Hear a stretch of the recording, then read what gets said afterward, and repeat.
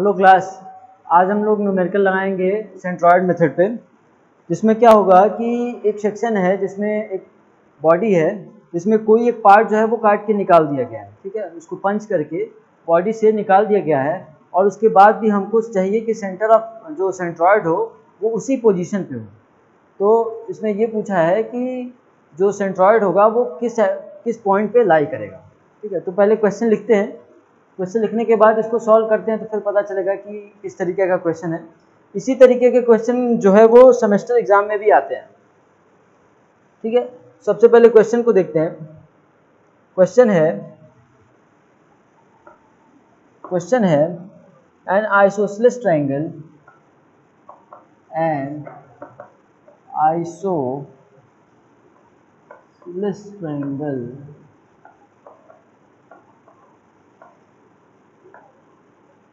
triangle is to be cut is to be cut from an edge of a square from an edge of a square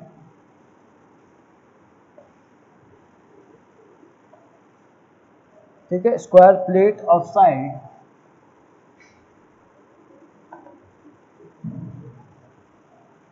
of side one metre such that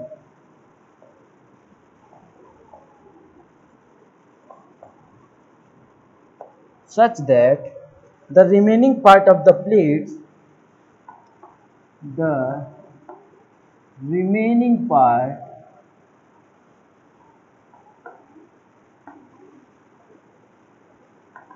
of the plate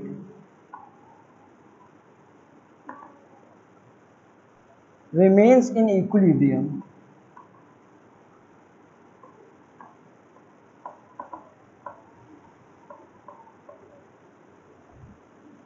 Remains in equilibrium in any position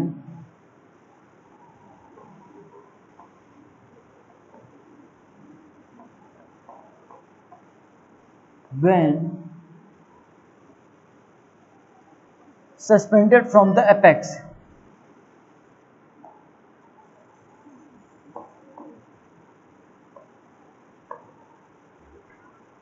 From the apex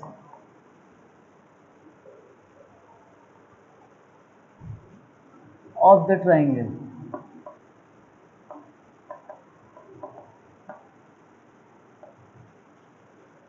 Calculate the area of the triangle.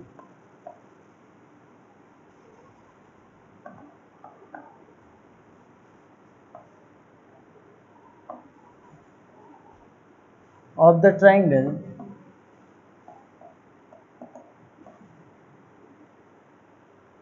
to be removed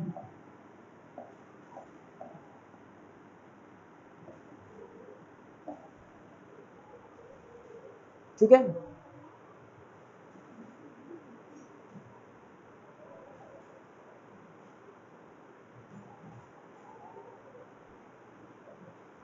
ठीक है? Question क्या कह रहा है? कि एक isosceles isosceles triangle है, ठीक है? एक आइसोसलेस ट्रायंगल को एक स्क्वायर प्लेट से काट के निकाल दिया गया है, ठीक है? स्क्वायर प्लेट का जो एक साइड है, वो एक मीटर का है, ठीक है? उसके बाद क्या किया? ऐसा इस तरीके से काटा गया such that the remaining part of the plates remain in equilibrium in position when suspended from the apex ठीक है? इस तरीके से काट के निकाला गया है कि अगर हम ट्रायंगल के एपेक्स से सस्पेंड करें ठीक है तो वो इक्विलिब्रियम में हो। जो ट्रायंगल काट के निकाला गया है उसको अगर हम एपेक्स से आ, हैंग करें या सस्पेंड करें तो वो क्या हो? वो इक्विलिब्रियम में हो। ठीक है? हमको पता करना है कि जो हम ट्रायंगल काटे हैं, उसका एरिया कितना है? तो एक फिगर ड्रॉ करते हैं। फिगर ड्रॉ करने के बाद हम समझते हैं कि क्या कहना चाह रहा है क्वेश्चन एक स्क्वायर प्लेट है। एक स्क्वायर प्लेट है, जिसका साइड जो है, एक मीटर और ये एक मीटर ठीक है? इसमें से एक ट्राइंगल जो है वो काट के निकाल दिए गए ठीक है? क्या कह रहा है? A triangle is to be cut from the edge of the square plate edge से काट के निकाल दिया ठीक है? ये ट्राइंगल जो है वो काट के निकाल दिया गया है। और इस एपेक्स से हम इसको सस्पेंड कर रहे हैं। ठीक है? अब इस एपेक्स से हम इसको सस्पेंड कर रहे हैं तो ये इक्विलिब्रियम में है। तो हम क्या करते हैं कि इसको एक्सिस मान लेते हैं। ये y एक्सिस ये O पॉइंट ये x एक्सिस ठीक है? ठीक है? हम क्या करते हैं कि इसको A मान लेते हैं, इसको B मान लेते हैं, इसको C मान लेते हैं और इसको D मान लेते हैं। ठीक है? जो सॉलिड पार्ट है वो ये है। जो सॉलिड पार्ट है वो ये है।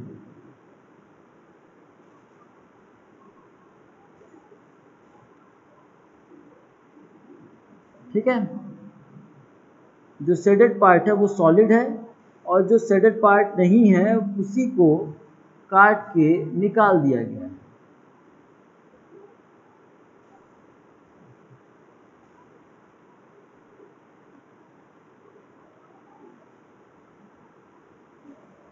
ठीक है ये सॉलिड पार्ट बचा हुआ है और इसको काट के निकाल दिया गया है। ठीक है? और कह रहा है, ठीक है, मान लेते हैं ये एच डिस्टेंस है। जो एपेक्स है, वो ए से एच डिस्टेंस पे लाई करता है। ठीक है? बेस ट्रायंगल का बेस भी वन मीटर का ही हुआ। ठीक है? अब इसको सॉल्व करने की कोशिश करते हैं, ठीक है? तो सबसे पहले हम क्या करेंगे कि इस पूरे स्क्वायर का एरिया निकालेंगे और इसका सेंट्रॉयड बताएँगे कहाँ है। ठीक है? तो इस ट्रायंगल का एरिया निकालेंगे और पता करेंगे कि इसका सेंट्रॉयड कहाँ पे है। ठीक है? और जब इससे हम इक्वेट करके इक्वेशन बनाएँगे, फिर हमको पता चल जाएगा कि जो एच का वैल्यू है वो कितना है। ठीक है? और जब एच का वैल्यू पता चल जाएगा तो हमको एरिया ऑफ़ ट्राइंगल जो है, वो निकालना आसान हो जाएगा। फिर half base into height area निकल जाएगा। ठीक है? तो सॉल्व करते हैं सबसे पहले। हम क्या कर रहे हैं कि एरिया ऑफ़ रेक्टेंगल को हम कह रहे हैं a area of sorry area of square को हम बोल रहे हैं ए वन ठीक है? तो ए वन कितना होगा? एक मीटर इंटू एक मीटर। आएगा वन मीटर स्क्वायर। ठीक है? उसका एक्स वन कितना आएगा?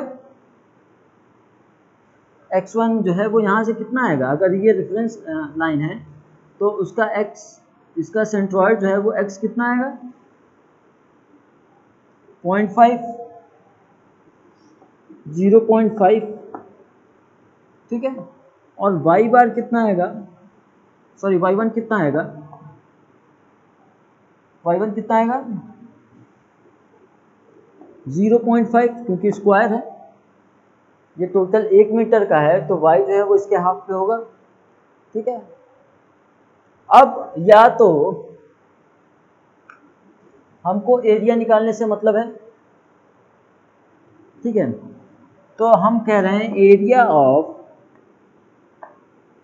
ट्राइंगल का एरिया जो हम है, उसको हम मान रहे हैं ए टू तो ए टू के लिए क्या लिखेंगे? A two equal to half base into height वो कितना होगा? हाफ़ बेस कितना है? एक मीटर। और हाइट कितना है? एच ठीक है? तो ये एरिया कितना आया? एच बाई टू ठीक है? एक्स टू कितना आएगा? One divided by two equal to zero point five ठीक है? और वाई टू कितना आएगा? One divided by two sorry sorry sorry ठीक है? वाई टू कितना आएगा? बेस से एच बाई थ्री बेस से एच बाई थ्री तो क्या लिखेंगे हम? एच डिवाइडेड बाई थ्री हम क्या माने हैं इसको? इसके हाइट को अगर हम एच मान रहे हैं तो बेस से इसका सेंट्रॉइड जो होगा वाई कोऑर्डिनेट वो कितना होगा? एच बाई थ्री ठीक है? अब हमको ये h फाइंड आउट करना है। तो h फाइंड आउट करने के लिए हम क्या कर सकते हैं? Y bar equal to A one Y one plus A two Y two divided by A one plus A two ठीक है? क्योंकि क्योंकि हम एरिया जो है, वो ट्रायंगल जो है, वो इसमें से काट के निकाल दिए हैं तो वो क्या माइनस में होगा? क्योंकि हम इसको रिड्यूस कर रहे हैं इसमें से तो जो एरिया होगा इसका वो कितना होगा? Minus H by two.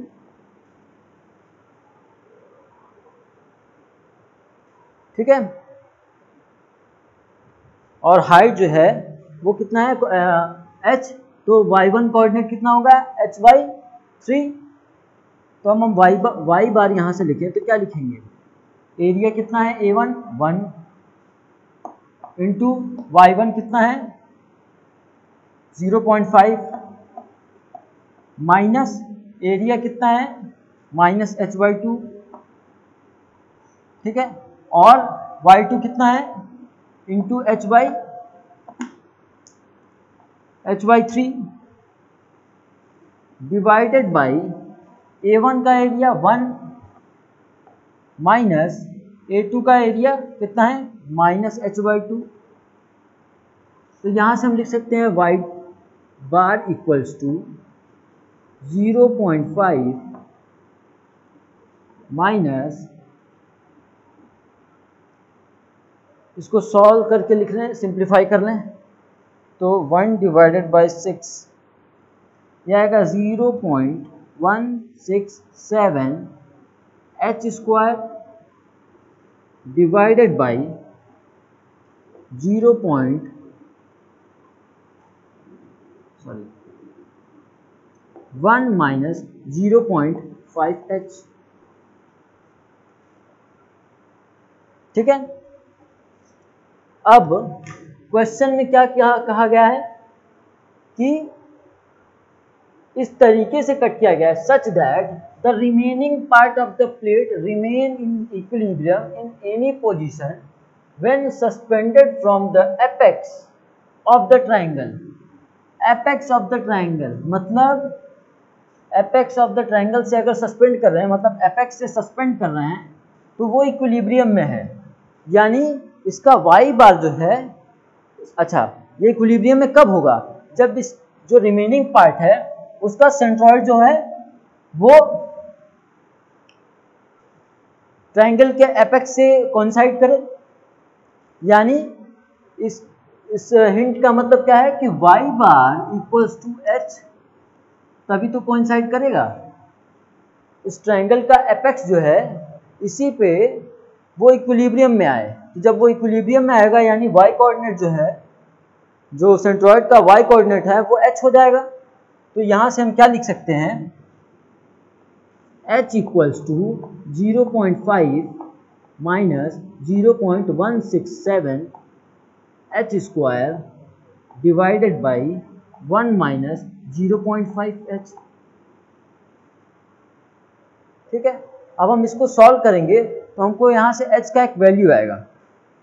ठीक है? अब हम इसको यहाँ से सॉल्व करें तो क्या आएगा? एच का एक वैल्यू आएगा। क्या आएगा? देखते हैं। इसको क्रॉस मल्टीप्लाई कर दें तो क्या आएगा? एच इसको यहाँ ले जाके मल्टीप्लाई कर दिए तो क्या आएगा? H minus zero point five H square H into zero point five H square equals to zero point five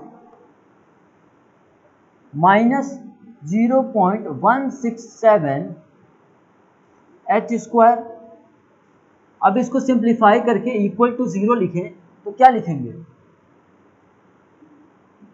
इसको उधर ले गए।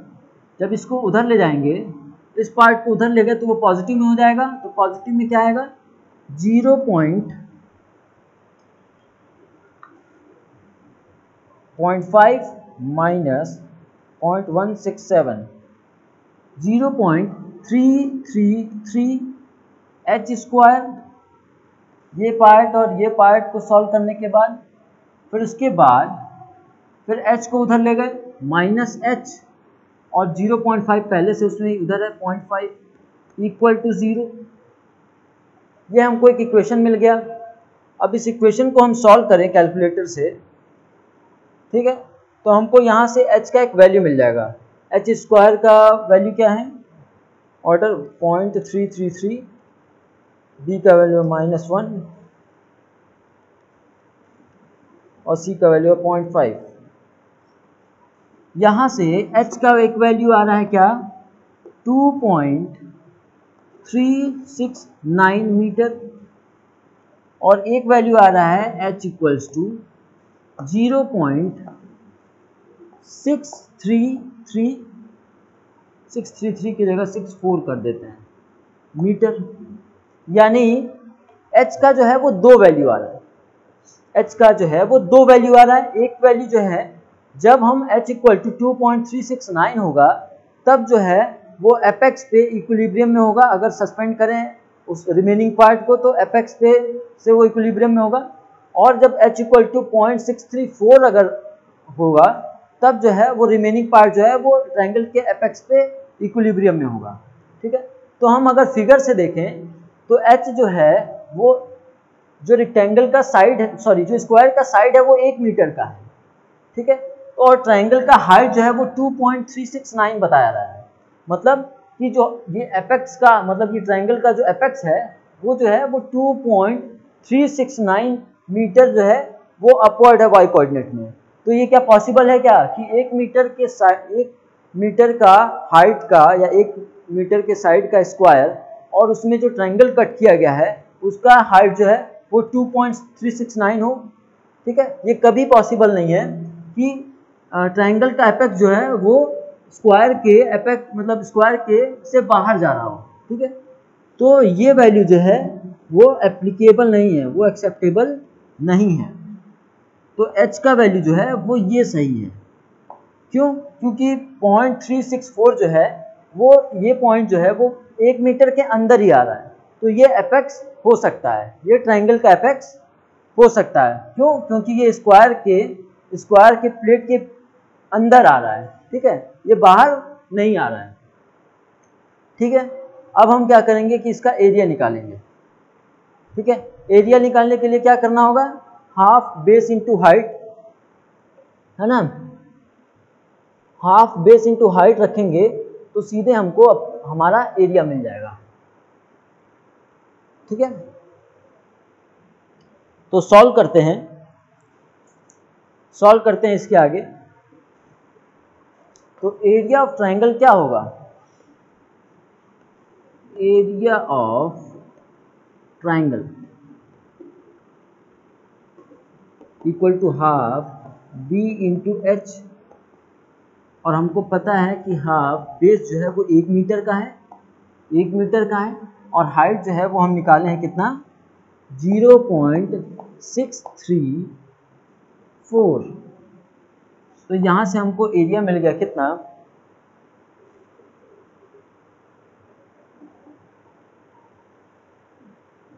One into point six three four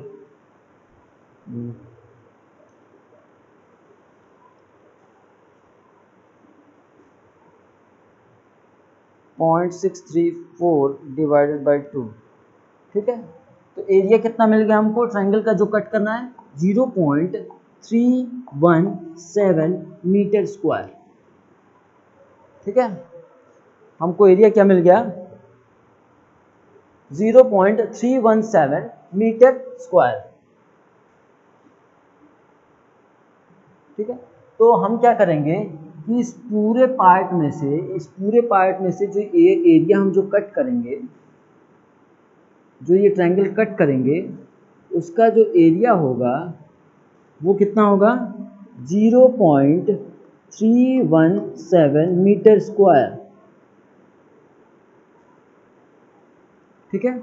और ये एपेक्स का जो हाइट होगा, वो कितना होगा?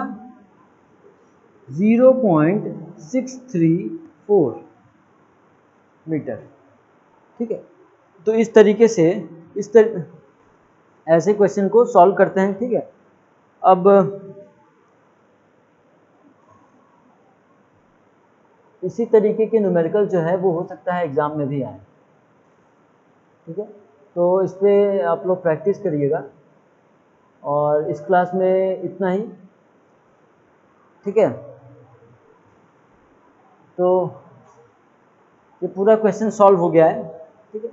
पहले क्या निकाले हम? एक बार रिवाइज कर लेते हैं। जल्दी जल्दी।